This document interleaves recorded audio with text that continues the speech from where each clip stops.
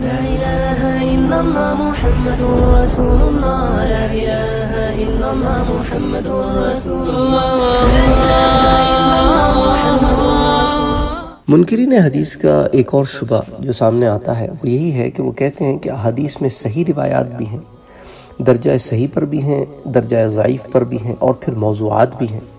لہٰذا تمام مجموعہ احادیث قابل حجت نہیں ہے اب یہ سوال تو سیاہ ستہ کے دور سے پہلے ہو سکتا تھا، یا اس دور سے پہلے ہو سکتا تھا جہاں علماء نے یہ محنت نہیں کی تھی کہ حدیثوں کی روایت کے درجات بیان کریں تاکہ ان میں امتیاز ہو سکے۔ اچھا یہ الزام کہ اب ساری چیزیں خلط ملت ہو گئی ہیں، یہ بھی غلط ہے۔ کیونکہ محدثین نے جو احتیاط برتی ہے، ان کے شرائط ہیں، ان کی احتیاط ہے، اس کی بنا پر یہ سوال وارد ہی نہیں ہو سکتا۔ کہ کوئی کاذب کذب کی وجہ سے کوئی جھوٹا آدمی، کوئی غلط آدمی، کوئی فاسق آدمی وہ سند میں آ گیا ہو اور روایت پھر بھی درجہ صحیح پر ہو۔ کیونکہ اس میں بڑی محنت ہے۔ یہ لوگ اسماء الرجال کو نہیں پڑھتے، جرح و تعدیل کو نہیں پڑھتے، وہی ایسی باتیں کرتے ہیں۔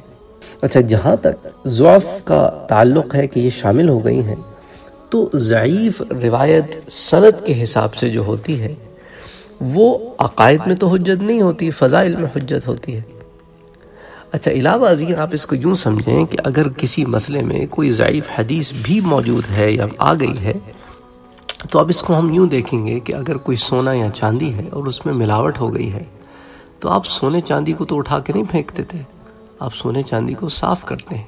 اور یہی معاملہ جو ہے، ان احادیث کے ساتھ بھی ہے کہ جو درجے میں ذرا نیچے ہیں یا جو منکرات میں سے ہیں جن کو ہم نے اب چھانٹنا ہے، یا وضع کی ہوئی ہیں، بنائی ہوئی ہیں، من گھڑت ہیں، ان کو ہم نے چھانٹنا ہے، یا جھوٹ پر مبنی ہے، ان کو ہم نے چھانٹنا ہے۔